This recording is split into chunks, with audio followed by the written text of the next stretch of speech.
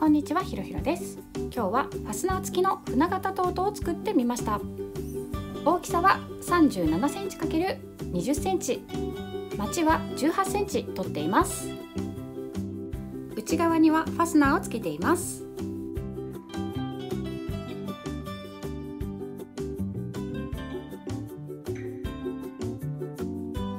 内ポケットも一つ作ってみました。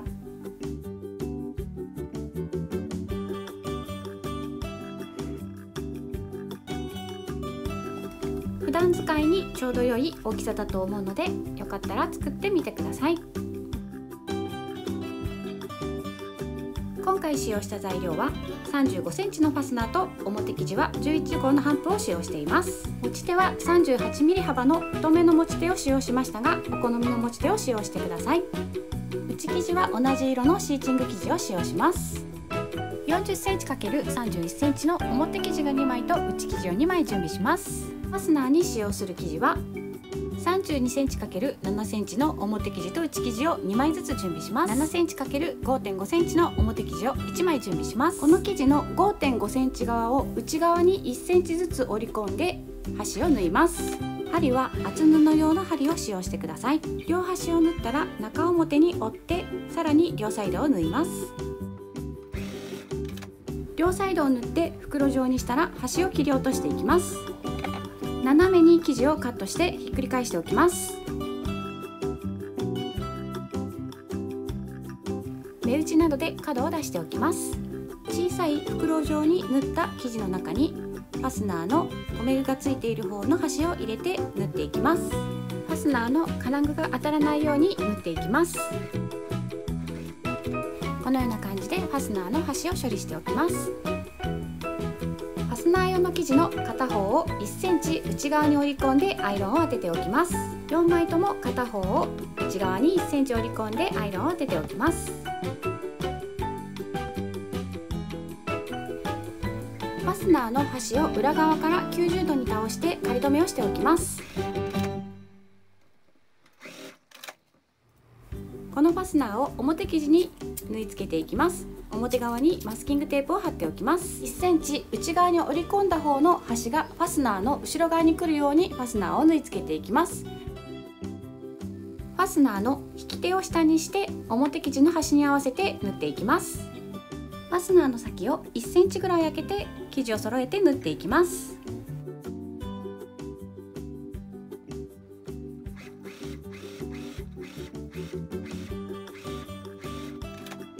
のような感じで縫っておきます。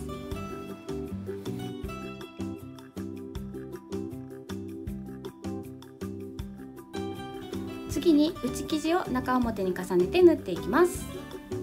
1センチ折り返している生地の端を合わせておきます。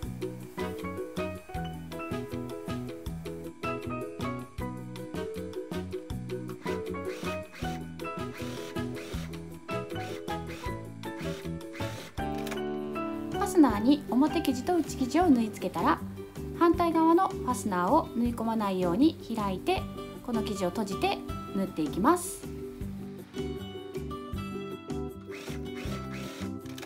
端を縫ったらひっくり返しておきます。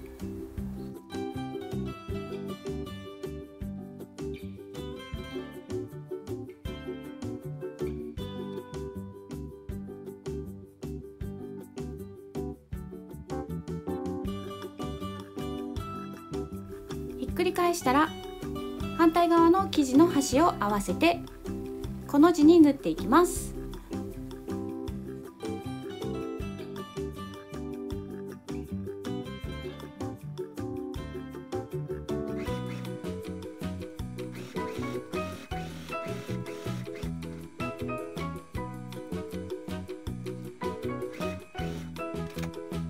このような感じでこの字に押さえのミシンをかけておきます。ファスナーを縫い付けたら反対側にもファスナーを縫い付けていきます。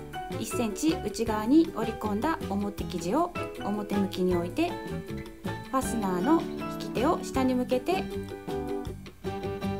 1センチ折り込んでいる端を合わせて縫い付けていきます。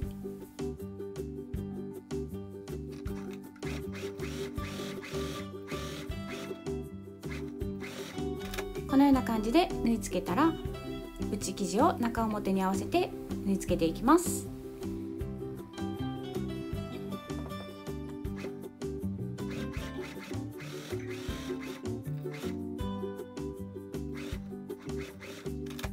このような感じでファスナーを表生地と内生地で挟んで縫ったらファスナーを開いて反対側の生地を縫い込まないように2つの生地を合わせて縫い付けていきます。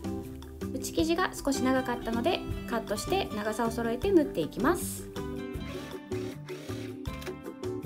端を縫ったらこの生地を表に返して押さえのミシンをこの字にかけていきます。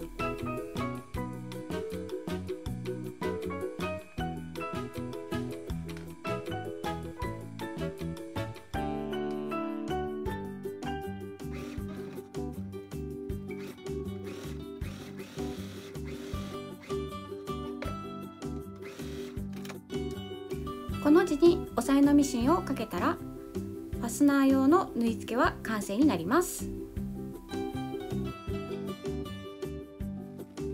次に内生地にポケットをつけていきます。ポケットの数や大きさはお好みで変えてください。14cm×20cm の生地を用意して上を 1cm ずつ2回折り返して1回縫います。この生地を生地の中心上から 8cm のところに縫い付けていきます。ケットを待ち針で留めて周りを1センチずつ内側に折り込みながら縫っていきます。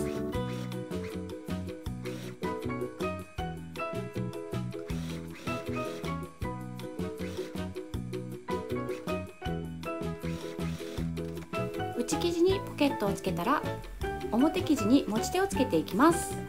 持ち手を35センチにカットして2本準備しておきます。この持ち手を2つに折って生地の両サイドを11センチ開けて持ち手の先を1.5センチ出して洗濯バサミで留めておきます。4箇所縫い代0.5センチぐらいで仮留めをしていきます。このような感じで持ち手をつけたらこの生地を中表に合わせて周りをこの字に縫っていきます。内生地も中表に重ねて返し口を開けて周りを縫っていきます。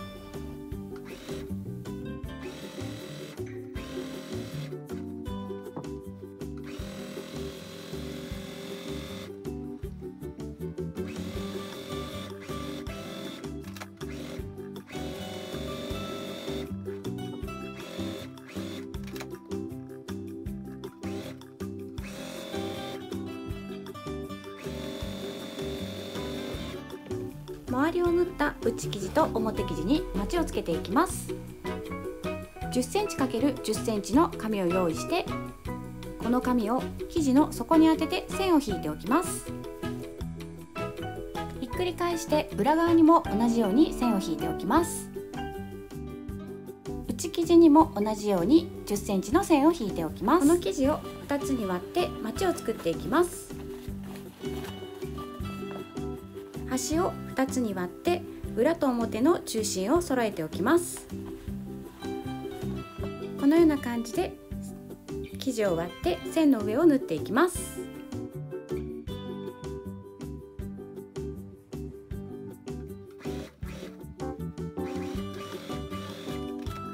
このような感じで4箇所縫っておきます。まちを作ったらファスナーをつけていきます。入り口の生地を開いてここにファスナーをつけていきます。ファスナーの引き手を下にして表生地の端に縫い付けていきます。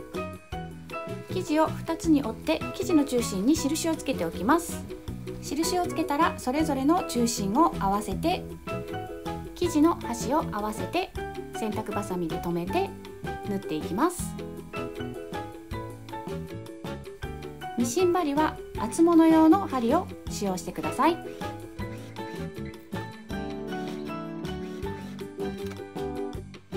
このような感じでファスナーの生地の端を縫い付けたら反対側にも同じように生地を縫い付けていきます。ファスナーの向きがずれないように気をつけてください。中心にそれぞれ印をつけて真ん中を合わせて縫っていきます。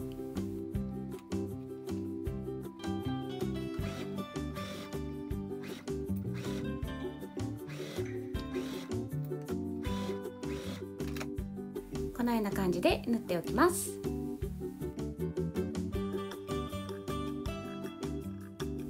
ファスナーを縫い付けたらファスナーの生地を表生地の中に入れて内生地をひっくり返して中表の状態で表生地の中に入れていきます。表生地と内生地の生地の端を合わせて洗濯バサミで留めておきます。反対側も同じように生地の端を合わせて洗濯バサミで留めたら形を整えて生地の端を合わせて何箇所か洗濯バサミで留めてぐるっと一周縫っていきます。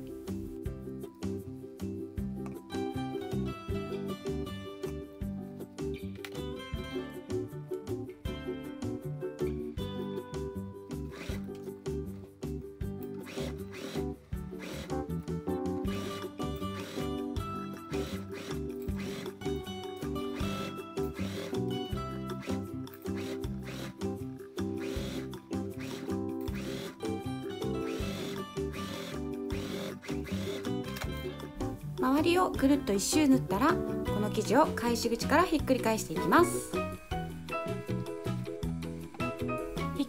したらファスナーを内側へ折り込んでいきます。ファスナーの生地を内側へ折り込んだら洗濯バサミで留めておきます。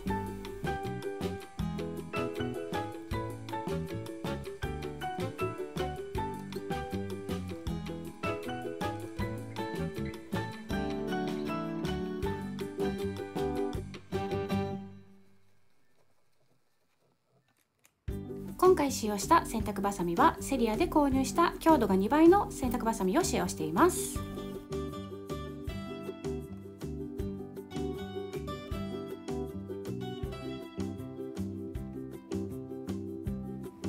このような感じで周りを洗濯バサミで留めたらぐるっと一周周りを縫っていきます。生地が重なり合って厚みのある箇所があるのでミシン針は厚物用のミシン針を使用しています。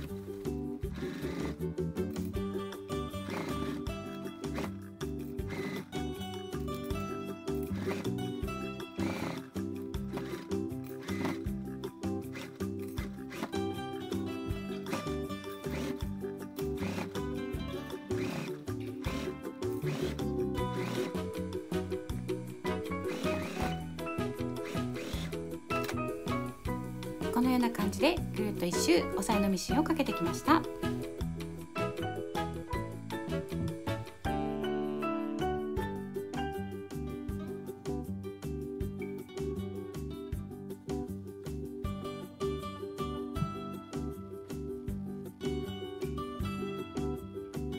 返し口を閉じていきます。返し口は生地を少し内側に折り込んで端を縫っておきます。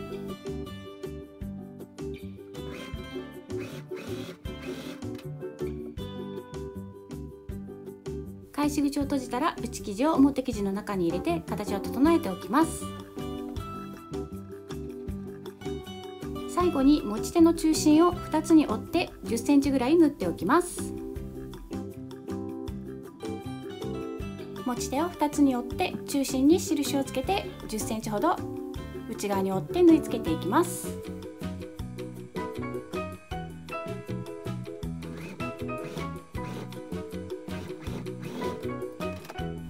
このような感じで持ち手の中心を内側に10センチぐらい縫って完成になります。